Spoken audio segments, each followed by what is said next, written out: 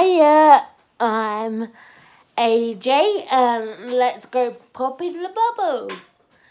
Right, um, firstly, if any, um, like fashion designers or whatever watch my channel, just so you know, Hmm, I don't know that one.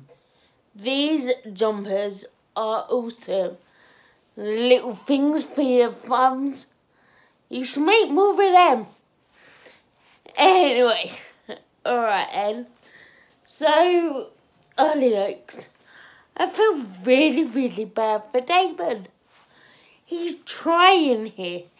Tries everything and he just never seems to get a fair shot at anything.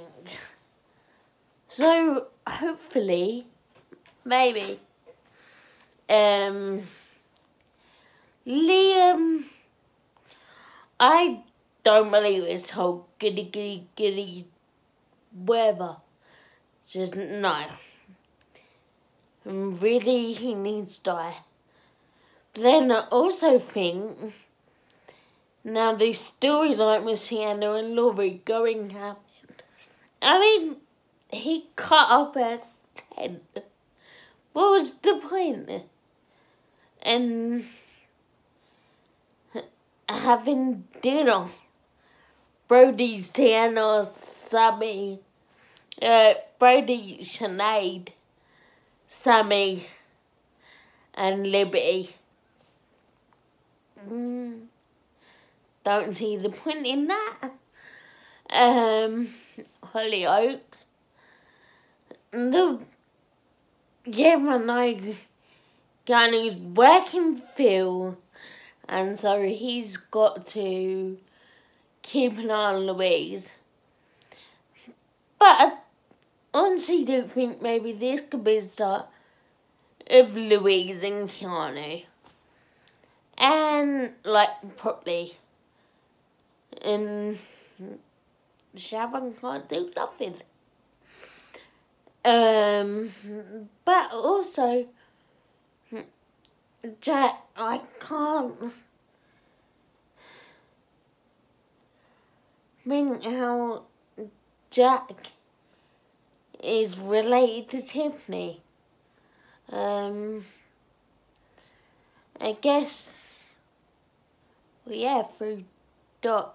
I don't know, but it's just weird that all of a sudden Jack's like right up with Sonia about keeping an eye on Tiff, and I don't know, I just no. Um. So mm, that's all I've watched today because my nan was round to get her Mother's Day bits, and then I had a shower, and then I had lunch, and then I don't know. That's all I did. Mm. No. Well, Hannah and Becca will be home in a minute. And then Death Wish will be home.